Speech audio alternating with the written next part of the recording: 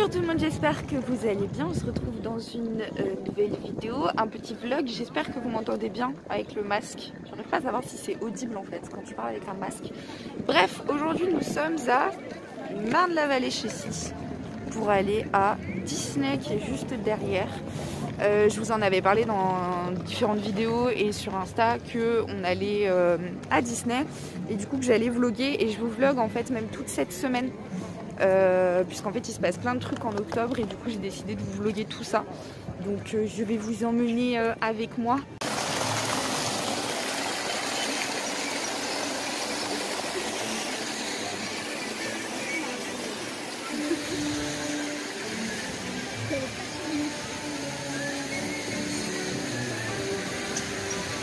Avec la petite musique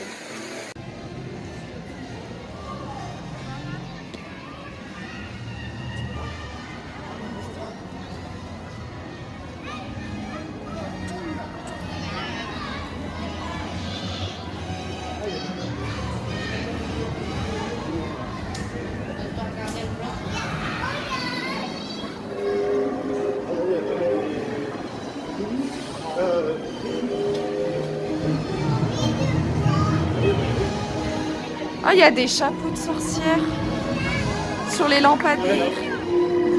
C'est génial. Ah, trop.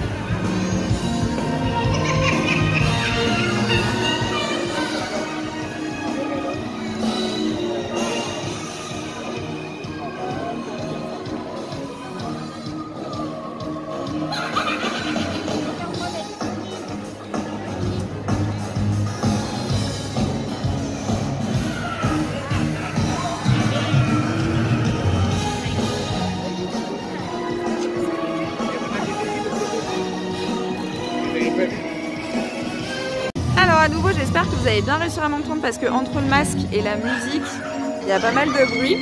Du coup, donc on est rentré dans le parc et en fait, sur les plans que vous avez pu voir, euh, la déco d'Halloween est déjà installée.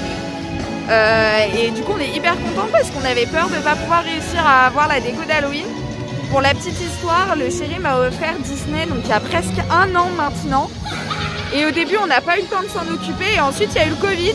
Donc autant vous dire qu'on était euh, vachement dégoûtés. On avait peur de ne pas pouvoir y aller. Et en fait, à la base, il me les avait offerts trop tard pour, euh, pour qu'on puisse avoir les décos d'Halloween. Donc, finalement, c'est une histoire qui se termine bien puisqu'on réussit à avoir les décos d'Halloween. Et vous voyez, il y a des petits chapeaux de partout. Genre, c'est beaucoup, beaucoup trop mignon. Genre, euh, c'est trop, trop bien. Je suis trop contente. Et là, du coup, on a accès aux deux parcs. Donc, en une journée. Donc, on va pouvoir euh, bah, faire un petit peu ce qu'on veut. Donc, je suis trop, trop contente.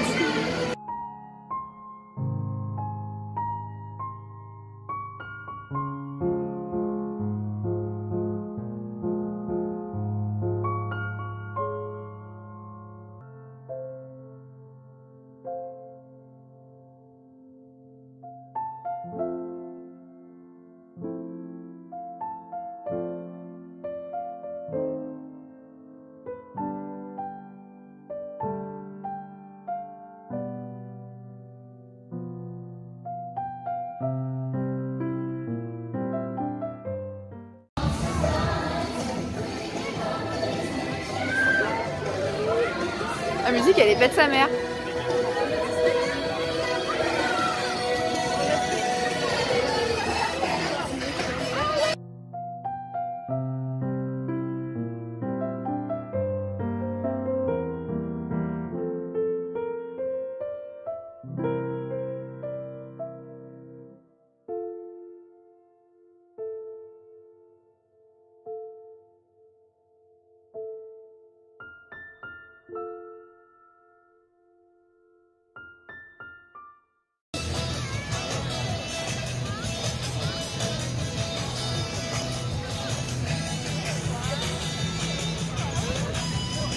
Oui, c'est par là, je. Par là. On va où là du coup Manoir. Au manoir hanté. Qu'est-ce que Ok. t'as envie de faire toi, comme attraction? Euh, Star Wars, ouais, Star Wars déjà. Le manoir. Le manoir. Euh, bah, le, château, j'aimerais bien le revoir quand même. Le quoi? Le château Le château. à l'intérieur. Euh, Après, je sais pas trop. On peut faire Indiana Jones? Par contre, c'est vraiment très très chiant ce contrôle des couleurs avec le masque, comme tout est sombre là. Indiana Jones, ouais, pourquoi pas. on c'est l'a pas- pas fait- on l'a pas fait la dernière fois, c'est surtout pour ça en fait. On l'a pas fait la dernière fois? Ah oui, t'as raison, il y avait trop de monde. Ouais, alors que là, c'est tout le temps l'attraction, il y a trop de monde Ouais. en fait. Et là d'ailleurs, justement, en fait, avec les restrictions Covid, du coup, ils ont le droit qu'à un nombre limité de personnes. Donc du coup, en fait, vous êtes obligé de réserver votre place sur Internet avant. Euh, en plus de votre billet, ça coûte rien du tout. Vous juste vous dites, voilà, on va, on va venir tel jour. Et du coup, au moins comme ça, vous êtes sûr euh, de pouvoir en fait rentrer dans le parc. Et du coup, il y a beaucoup moins de monde et c'est genre hyper agréable. Franchement, là, pour l'instant, euh, top.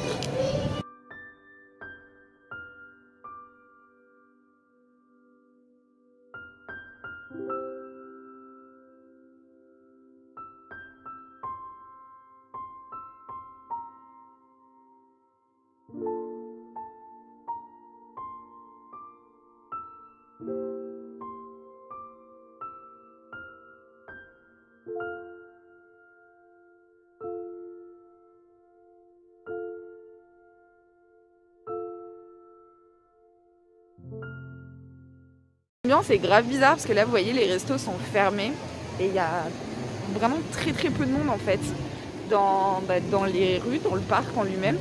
Et du coup, l'ambiance est assez, c'est assez étrange. Après, on va pas se plaindre. hein, euh, On peut aller à Disney même avec le Covid et en plus de ça, il y a moins de monde. Mais genre vraiment, ça fait vraiment très très bizarre. Mais par contre, du coup, on a bien fait de préparer des sandwichs parce que sinon, je sais pas où est-ce qu'on aurait bouffé. hein. Si tous les restos sont fermés. euh, on aurait bien bien galéré à manger quoi.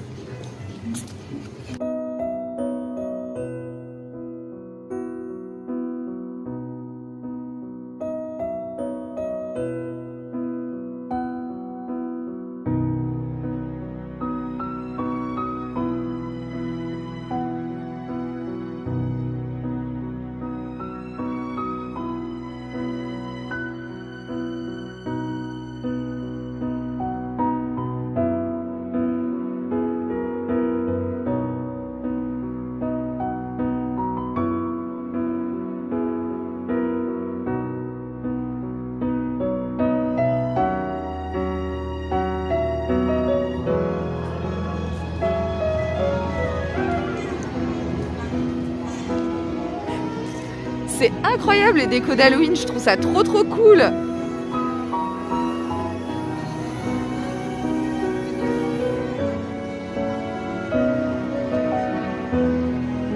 C'est vide. Est-ce que vous vous rendez compte à quel point c'est vide? Moi ça me choque. hein. J'ai jamais vu Disney comme ça. Et nous c'est là qu'on va, on va au manoir hanté. Meilleure attraction de tous les temps, hein, On clairement. va faire ça. Tu veux faire la mine après?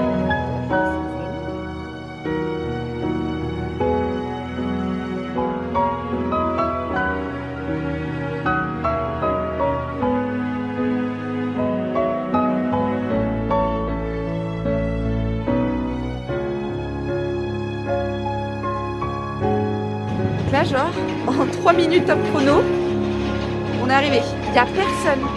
C'est hallucinant comme il n'y a personne. You may not believe it, but beauty once lived in this house. Fantôme Manor a connu des jours heureux. Et les temps ont changé. And now, curious souls, come. I have more to show you. Entrez, ensemble ce fameux manoir.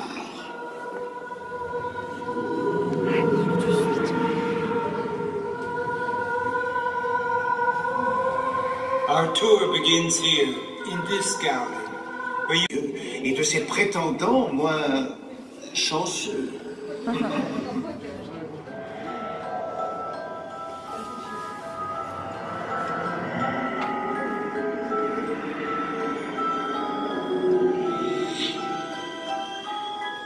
Perhaps you sense a disquieting metamorphosis. Hélas, les choses ne sont pas toujours ce qu'elles paraissent. Tous les contes n'ont pas de fin heureuse. It appears everyone is doomed in Phantom Manor. Even you And notice this. This chamber has no windows and no doors, which offers you this chilling challenge to find a way out. Ailleurs, il n'y a ni porte, ni fenêtre. Par où sortir? Si vous ne trouvez pas le moyen de vous échapper, le fantôme des lieux se fera un plaisir de vous aider.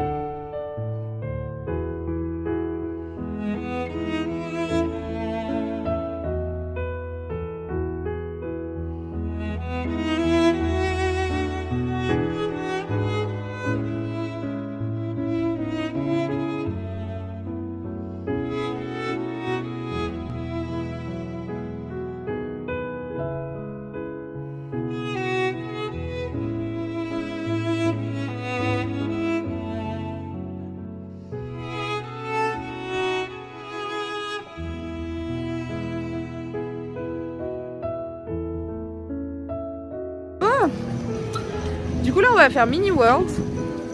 Jusqu'à présent on a fait Pirates des Caraïbes, Indiana Jones, la mine, euh, le bateau que je vous ai montré, le manoir.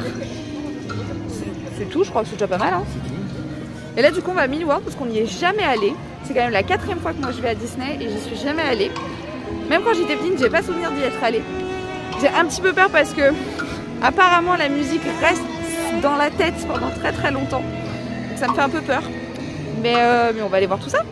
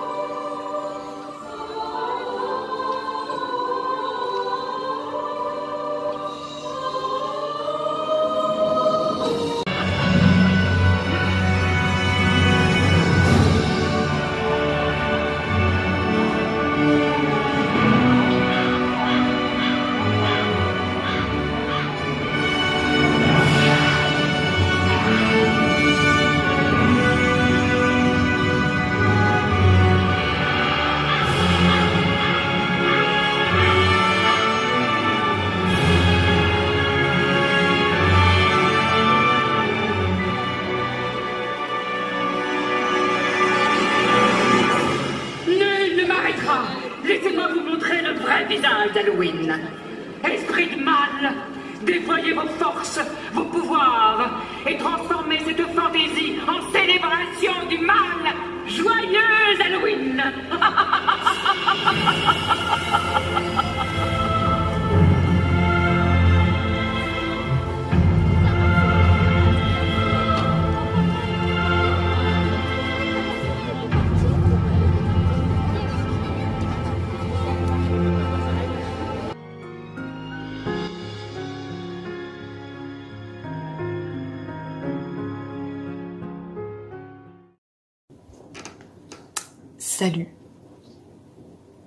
Et si on parlait de Disney? Nous sommes euh, mardi 29 septembre, on est donc le lendemain euh, de Disney. Euh, je vous ai pas montré, en fait je me suis rendu compte que je vous ai pas montré beaucoup de choses, je vous ai pas vlogué beaucoup de choses parce qu'en fait j'essayais de profiter au max. Et euh, déjà bah, dans les attractions c'est compliqué de filmer, j'avais très très peur de faire tomber mon téléphone. Déjà que j'ai perdu ma carte de bus, je suis persuadée de l'avoir perdue dans une attraction. Euh, ou alors j'ai pas fait attention, j'ai sorti un truc de ma poche, ma carte de bus est tombée, bref. En tout cas, je l'ai perdue dans le parc. Euh, donc, ça fait un peu chier, mais bon, c'est pas grave. Euh, mais bon, bref, j'avais assez peur de ça. Après, voilà, je vous ai filmé quand même deux trois plans euh, qui étaient qui étaient plutôt sympas. Dans l'ensemble, on a passé une journée géniale. Si vous entendez du bruit, c'est mon lave-vaisselle derrière. Donc ouais, on a passé une journée genre géniale. Euh, on y était donc dès 10h30 le matin à peu près. Il faut savoir qu'à cause du Covid, le parc a réduit ses horaires. Ce qui fait qu'en fait, il ferme à 18h maintenant. Et euh, donc euh, nous on avait déjà, enfin on avait vu les horaires et tout au préalable, voilà. Du coup, pour vous raconter juste un petit peu l'histoire, je vous avais un petit peu expliqué dans bah, hier en fait tout simplement. Donc le chéri m'a offert Disney il y a presque un an maintenant pour mon anniversaire. Euh, et en fait, il voulait m'offrir euh, Disney à Halloween. Sauf que euh, c'était trop tard puisque je suis née en octobre, vers la fin octobre, le 18 octobre, et, et du coup c'était trop tard en fait pour avoir Halloween. et en fait il a pu avoir des billets que sur une période donnée. Euh, à cause du, enfin, on s'en est pas occupé tout de suite parce qu'on n'avait pas trop trop le temps, pas trop l'argent, et ensuite à cause du Covid, ça a été décalé. Et euh, donc là, on avait jusqu'au 30 septembre pour euh, utiliser notre nos billets pour Disney, donc pour aller à Disney. Donc on y est donc allé hier et en fait il s'avère qu'on est tombé sur la période d'Halloween puisque la période d'Halloween à Disney a commencé samedi, samedi 26 septembre, donc on a eu une chance incroyable par rapport à ça. Euh, du coup, on avait pris euh, les billets de train et en fait, euh, à cause des restrictions du Covid, ils ont un certain nombre de personnes autorisées dans le parc. Et du coup, pour être sûr de pouvoir rentrer dans le parc ce jour-là, vous devez réserver votre place sur le site internet. Alors, c'est pas payant du tout, c'est gratuit. Euh, et du coup, en fait, vous allez sur leur site et euh, simplement vous réservez votre journée pour deux personnes, etc. avec votre euh, votre billet en fait. Donc moi, c'est ce que j'ai fait. Du coup, ce qui fait qu'en fait, à l'entrée, ils vous demandent donc votre billet, mais aussi votre QR code de réservation. Et ça, c'est vraiment pas mal parce qu'au moins, vous êtes sûr de pouvoir rentrer dans le parc.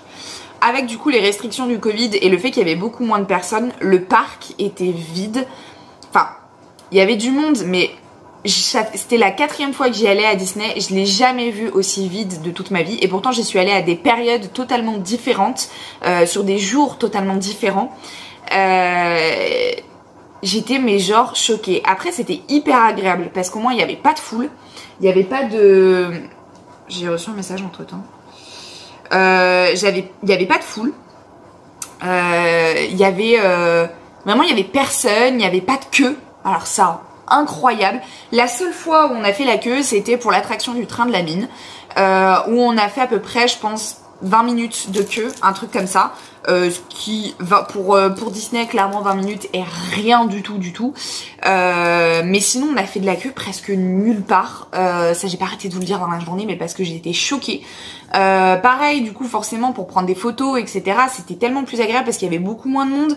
On n'avait pas un temps hyper sympa c'est à dire qu'il faisait pas soleil il pleuvait mais en fait c'était de la pluie qui était très fine donc c'était hyper agréable. Honnêtement c'était pas c'était pas contraignant du tout euh, le billet qu'on avait nous donnait en fait accès aux deux parcs. Donc euh, moi j'étais jamais allée au deuxième parc. Je vous ai pas filmé le deuxième parc parce que en fait on était un peu dans le speed vers la fin puisqu'en fait on s'est vite rendu compte que euh, ça allait être ric-rac. Au final on avait de l'avance. Mais ça allait être ric-rac pour la fin du parc puisqu'en fait on voulait donc aller euh, au second parc euh, faire un petit tour visiter surtout faire la tour de la terreur. Et et ensuite faire du shopping. Et, euh, et du coup, on avait peur de, de pas trop avoir le temps, donc j'ai pas trop trop trop filmé. Euh, si je crois que j'ai filmé l'intérieur. Euh... Je crois que j'ai filmé l'intérieur de la Tour de la Terreur juste avant qu'on rentre, mais je suis pas sûre. Bon, de toute façon, si c'est le cas, vous l'avez vu avant, mais je m'en souviens plus.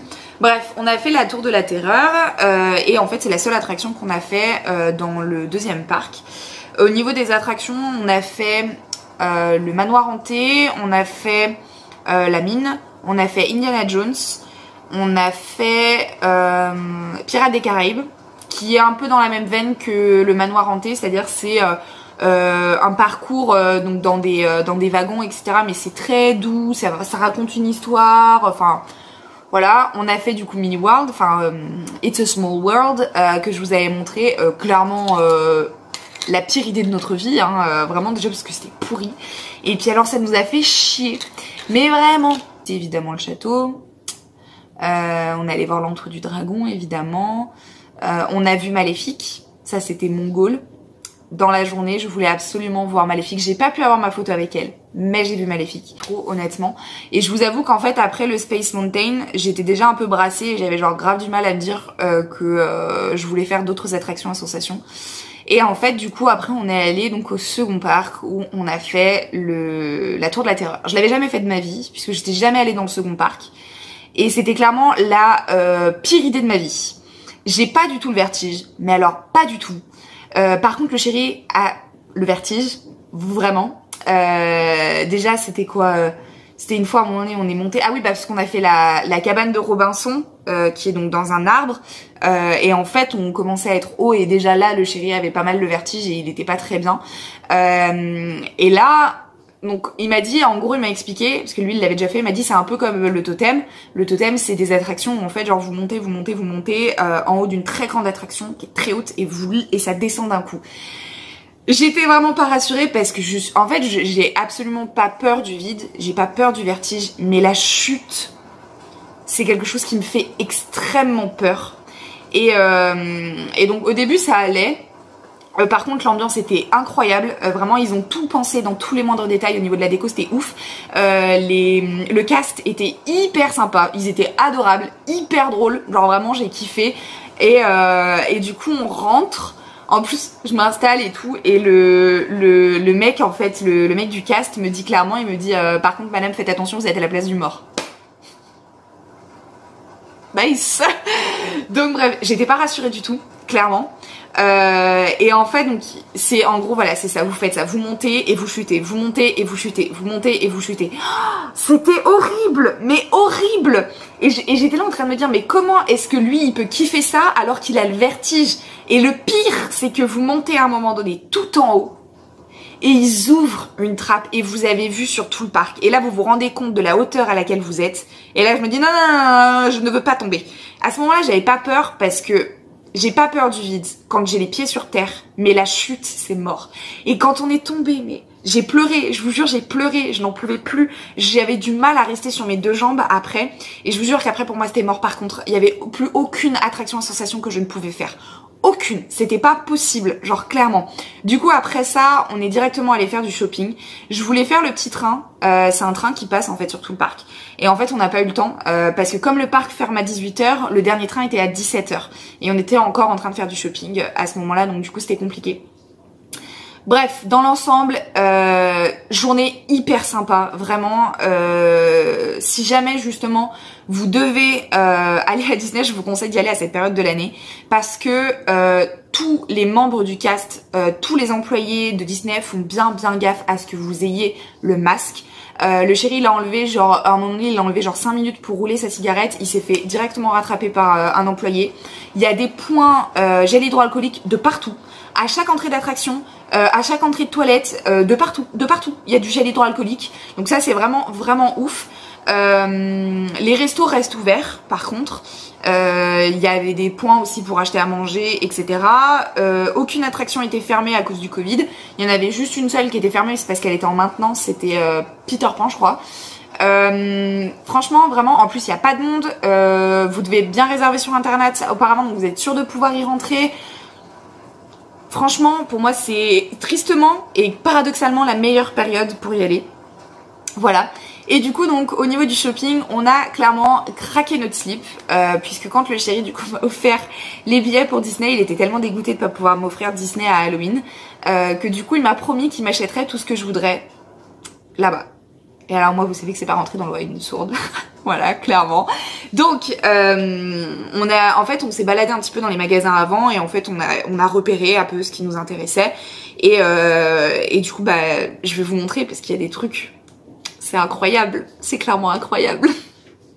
La première chose que je voulais absolument, c'était ça. Bon là c'est con, il y a l'étiquette.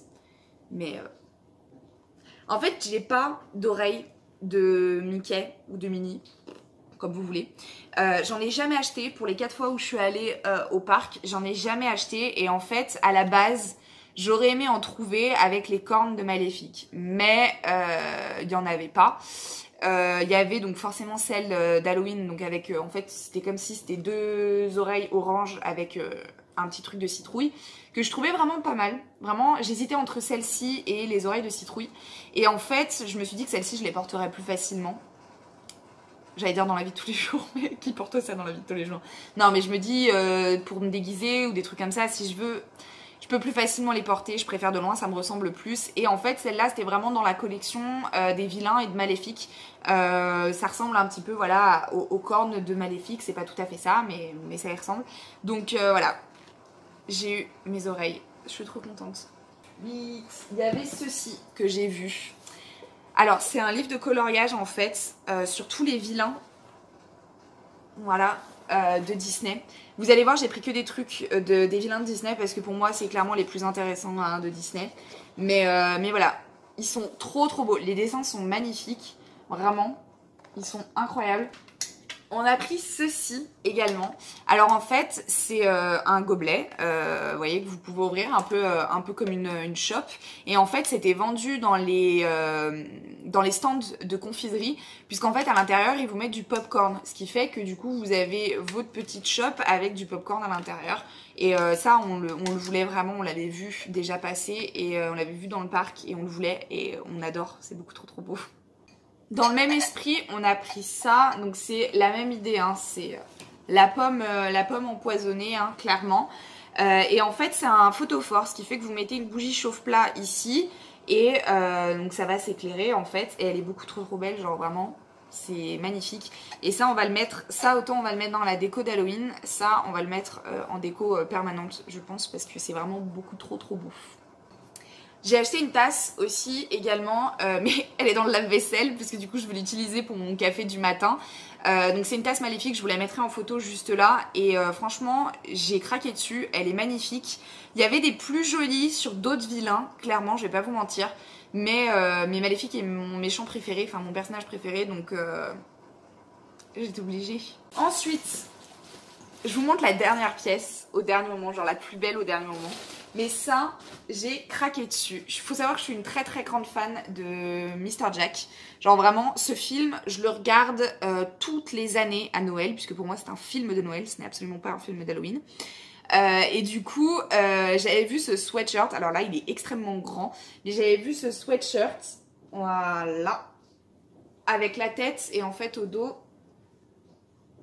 voilà. Vous avez écrit du coup Tim Burton The Nightmare Before Christmas. Donc en fait c'est un sweatshirt tout simple à fermeture éclair avec euh, la capuche. Je l'ai pris en taille XL pour pouvoir en fait le fermer jusqu'au bout et le porter en longue robe avec genre euh, des bonnes grosses rangers. On adore. Et j'adore avoir des sweatshirts hyper loose. Je trouve ça trop bien. En plus le chéri pourra me le piquer. Donc j'avais craqué dessus et en fait j'avais grave du mal à la retrouver. Je trouvais très souvent le modèle pour enfants, mais j'arrivais plus à retrouver le modèle pour adultes. Et on a réussi à le trouver au dernier moment, on était bien contents. Et la pièce maîtresse, la plus belle pièce, c'est le premier truc sur lequel j'ai craqué. Je l'avais vu passer sur internet, sur euh, les réseaux sociaux, notamment sur Instagram. Et euh, j'a- j'arrivais pas à trouver le prix en fait sur internet. Euh, et en fait quand je l'ai vu, j'ai craqué dessus. Je l'ai trouvé tellement beau. Et du coup, il est trop beau. Donc un petit sac à dos, enfin petit, il fait euh, un petit peu plus que la taille de ma tête quand même. Euh, maléfique, du coup, il est magnifique avec ses cornes. Voilà. Vous avez deux petites poches ici et ici qui ne se ferment pas, mais vous pouvez facilement genre glisser une carte de bus que vous avez perdue par exemple. Euh, une poche à l'avant avec la fermeture éclair, qui est quand même plutôt pas mal. hein. La poche principale. Et vous avez franchement, vous avez pas mal de place à l'intérieur. Après, vous n'avez pas de poche intérieure. Mais ça, c'est pas forcément un problème pour moi. Et genre, regardez même les motifs à l'intérieur. Je sais pas si vous allez voir. Eh. Ouais, vous voyez ce genre de motif là? Très baroque, j'adore. Vraiment. Et il valait quand même 80 euros. Voilà. Après, on sent clairement que c'est de la qualité. C'est pas du cuir. Tant mieux, ça me va très très bien. Mais on sent que c'est de la très bonne qualité. Et la marque, en fait, c'est Loungefly. Euh, C'est Loungefly. Je vous mettrai le lien en barre d'infos si j'arrive à le retrouver, si ça vous intéresse. Ils ont plein plein de sacs comme ça, avec notamment la collection des vilains. Celui d'Hadès est extrêmement beau aussi, euh, je vous avoue. Mais euh, voilà, c'était vraiment celui de Maléfi- Maléfique qui me plaisait le plus. Et je vous avoue que dès qu'on l'a acheté, je l'ai porté toute la journée dans le parc. Voilà. Voilà, petit haul terminé, petit très très grand. Je suis euh, hyper contente. On a passé une journée incroyable. Par contre, le seul bémol que l'on a eu, c'était pour le train. Euh, le premier train qu'on a eu, il n'y a eu aucun problème. Enfin voilà, on, a, on est parti de la maison, on l'a pris, on est arrivé à 10h30 à, Marne-la-Vallée, puisqu'on a pris un train qui était direct. Sauf qu'en fait, le problème, c'est que euh, le second train qu'on a pris était à 21h, alors que le parc fermait à 18h. Mais voilà, c'était très long, c'est pour ça qu'on est rentré très tard. Euh, du coup, on était totalement, totalement éclatés, littéralement. Mais euh, voilà, là, la journée de, enfin la nuit de 10 heures que j'ai passée m'a fait beaucoup de bien, clairement.